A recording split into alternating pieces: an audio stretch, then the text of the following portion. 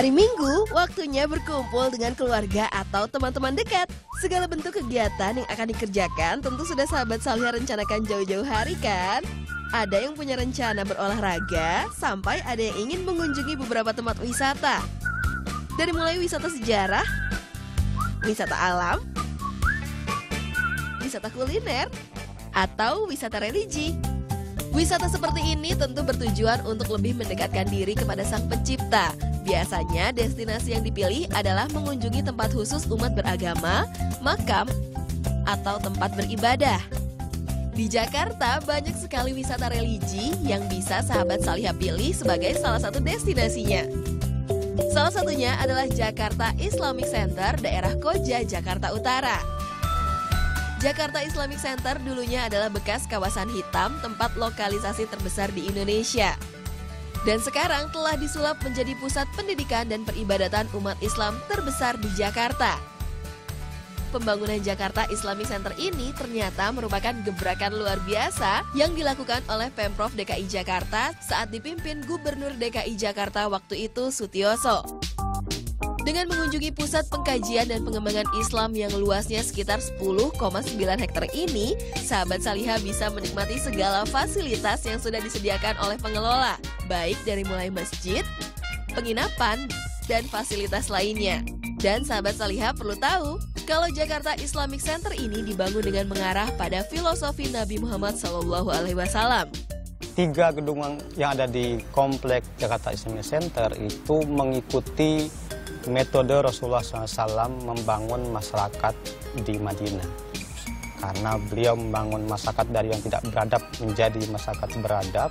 Nah, JIC ini menginginkan mengambil visi beliau, yaitu Rasulullah, dengan mengambil uh, sebuah mimpi besar membangun peradaban di Jakarta, di Indonesia, dan di dunia.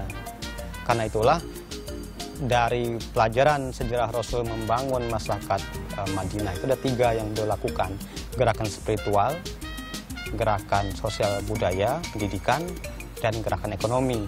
Tiga gerakan Rasulullah itu kita wujudkan dengan tiga bangunan utama. Bangunan masjid untuk spiritualnya, bangunan sosial budaya untuk aspek pendidikan dan sosial budayanya, serta bisnis center untuk mendukung kegiatan bisnis yang akan dikerjakan oleh Jakarta Islamic Center.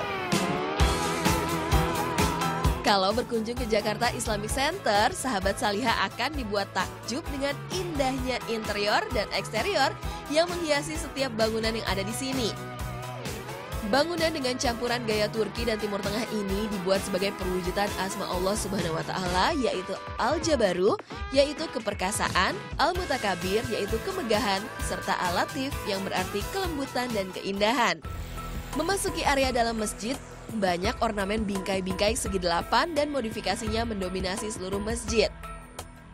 Dan ornamen-ornamen dalam bangunan ini ada maknanya sahabat Salihah seperti bentuk geometris pada bingkai pintu dan jendela, merupakan salah satu hazanah dari pola-pola islami atau Islamic pattern.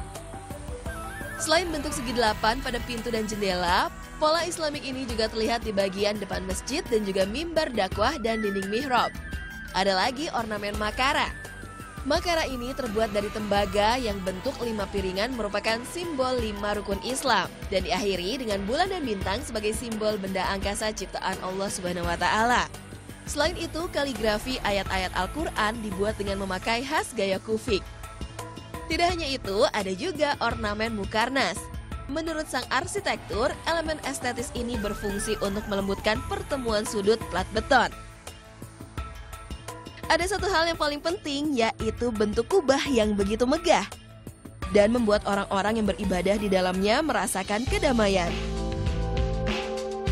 Kubah Jakarta Islamic Center ini dibuat sedemikian rupa agar memberikan efek psikologis memberi perasaan menekan dan keleluasaan konsentrasi pada saat kita berada di tengah kubah, sahabat Salihah akan merasakan pengaruh psikologis lainnya yang kaitannya dengan simbol perasaan kecil kita terhadap Allah Subhanahu wa taala. Bentuk kubah di Jakarta Islamic Center ini merupakan penerjemahan dari perwujudan garis lengkung yang bertujuan kepada yang satu yaitu Allah Subhanahu wa taala. Masya Allah, begitu syarat akan makna setiap ornamen dan bangunan yang ada di Jakarta Islamic Center ini. Pasti sahabat Saliha akan lebih husu dengan nuansa tenang yang ada di masjid ini. Selain masjid, sahabat Saliha juga bisa menikmati fasilitas lainnya seperti radio dan juga perpustakaan. Seperti apa? Informasinya sesaat lagi ya.